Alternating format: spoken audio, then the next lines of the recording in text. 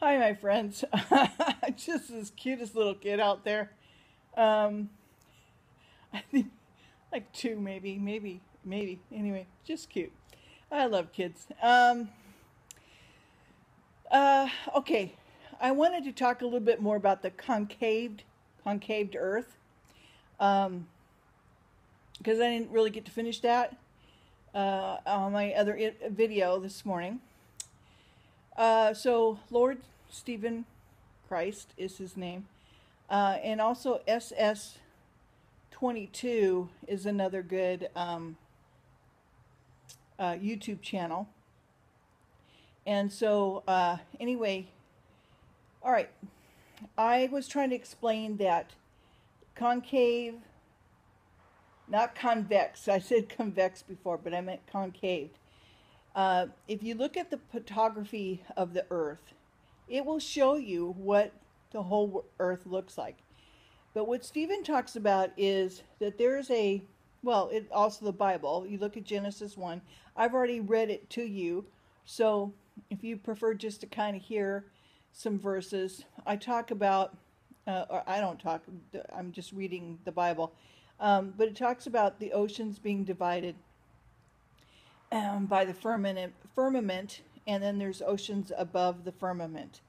And um, Stephen does this really great graph, graphic, and uh, he does several. I think he just is, is a wonderful artist and um, brilliant mind. Um, uh, he, he, he may turn you off a little bit because he talks about, you know, I'm Christ and I think he's just doing a, a, parody on his name. I don't think, you know, there's anything serious about it unless there's some issues that we were not privy to. So, but I don't know that, so I'm not here to judge. I just think that he's got great ideas and the way that he explains things. And he's, you know, he has people on his show and he's talked to some folks from NASA and he's, you know, trying to tell them, hey, look, NASA's just been really not truthful and um, not just NASA, but other agencies and other people who have had the big bucks to go up and see what's what. Um, so what he's explaining is uh, is that there's a glass ceiling and it's a hundred kilometers is all. All right.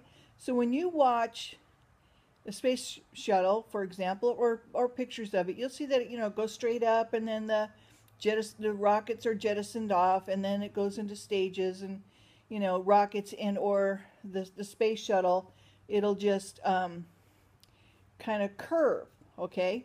Uh, as it gets above 50 miles. And um,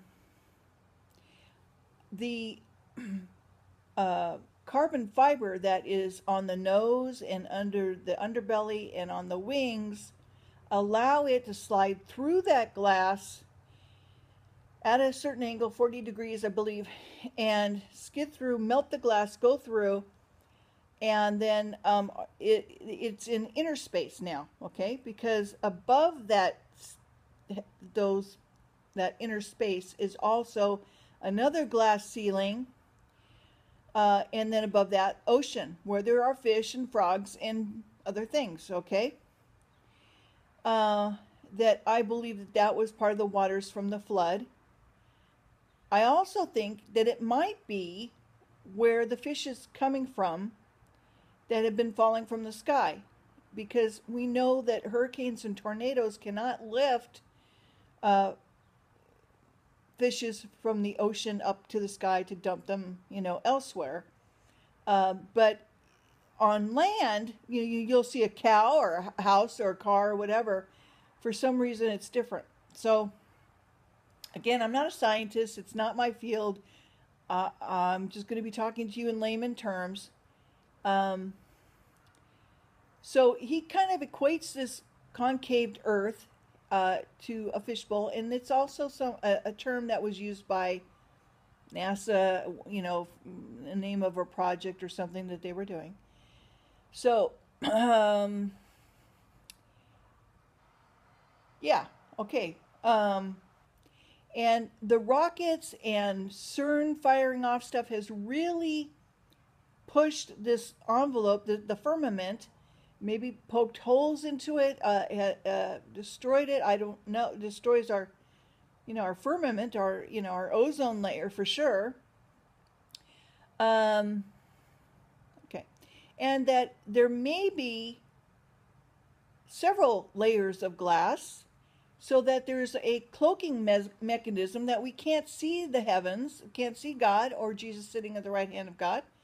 Because, and and you'll find that on uh, YouTube there there's experiments done with different lenses and light, and so when uh, it's uh, set up just right, it becomes like a cloaking mechanism that you can't you could put your hand in front of one of the lenses in light and you won't see a part of your hand, for example, that's in front of the lens.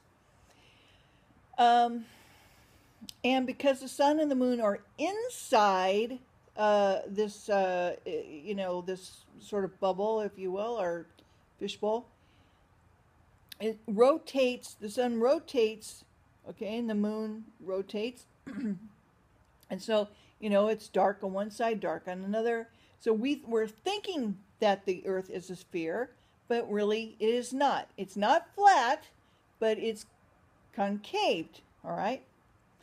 Um, and he explains very intelligently how he's come to this and, and, and so forth. And if you read your Bible, and, and he reads it, uh, uh, it in different videos and stuff as well, to explain why he's come up with this, you know, this theory. And um, it makes it makes sense to me anyway. So I just wanted to just kind of add that. Um, that's you know kind of what I've learned so far. Um, also, that he he goes into different um, uh, uh, what do you call it experiments that have happened. Don't just when the phone rings. I'm trying to do a videotape. Uh, it'll pick up. So anyway, uh, M&M uh, experiment, Mol- Molson or something experiment, they dropped a plumb line in a um, in one mine shaft and dropped another plumb line in another mine shaft, and they did experiment and they thought that the ball would, you know, that they would come together because of the magnetic pull of the Earth's core and you know all the stuff that we've been told. But in actuality, the balls went up. They went up. They went away. They diverged. Hmm. So, he also talks about the ether being the um, force that is holding everything down, and yet we're poking holes in this glass that's holding everything in and that it's not really gravity. Gravity might be the density material i'm not sure. But it's the ether that's holding everything down. The earth is not moving. It is the stars and heavens and the clouds and all that stuff that's moving but it's we're not moving here on earth which makes perfect sense to me okay? Um, Trying to think of what else he said. Uh, lots of stuff. I mean, he's got tons and tons of videos. So enjoy his his you know channel, and um, you know come back make a comment on mine if you want or whatever. Uh, again, you know this is just to kind of enlighten you so that you're not fooled by other men, so that you're not led astray. Okay and I, hey, you know, as a kid, what are you going to do? You're told this in school. Eh, you know, Earth is, is spherical, it's round, and this is what's you know in the Earth, and da da da da da da, and it's just you know preached into you, really brainwashing you into all, all the levels of, you know, in evolution and all of that nonsense is is taught uh, and and uh, so of course you're going to believe it. Why would you just not believe it? You know they're the authority, and uh, until you become adult and realize you have free will, that you know that you have God and you, you can accept the Lord and let the Lord and the Holy Spirit lead you and teach you and let her give you discernment and understanding. And even though I went to church all the time and I heard, you know, I heard the creation story, I believe that story. Um, and then, you know, later I was thinking, you know, well, wait a minute, it is the Earth really that old, or, you know, are our planet's that many light years away? And if so, how does that you know, how does that jibe with the creation? Why is it not the same? I mean, what they, you know, what's going on that that they're so off? And so I would just go, well, maybe, maybe God, when God spoke the earth into existence, maybe that is the Big Bang. And I would question it, you know, because I, I didn't know. And not that I'm questioning God, but I'm just trying to understand, you know, how things work. Um, but then realizing that's not the case either. There was no Big Bang. So going back to the Bible, going just reading the Bible and you know and trying to understand. Um, and now, granted, there are things in, that have been interpreted in the Bible that are not correct. Uh, even the story of Adam, you know, it, the way that things were interpreted are not not correct. Correct. God created man and woman in his image. Okay, so anyway, that's I'm going off another topic, but um, you know things about gay people and and, and so forth are, are uh, not correct. Okay, the Ethiopian um, eunuch. Um, read you know you can read in Acts and just look at my other videos and I talk all about the um, um the Ethiopian eunuch and Philip and and uh, how God and Jesus and the Holy Spirit accepts gay people.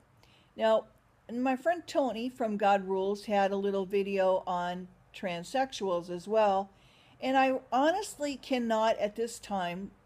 I'm being honest with you guys. I can't really talk to that or or uh, get you know really give my um, opinion on on on that.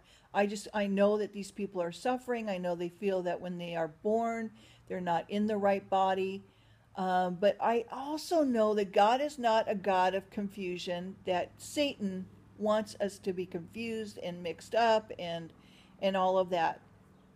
And so when it's talking about gender identity, see, I don't mind being a woman. Uh, you know, I uh, I don't I never liked wearing dresses when I was younger.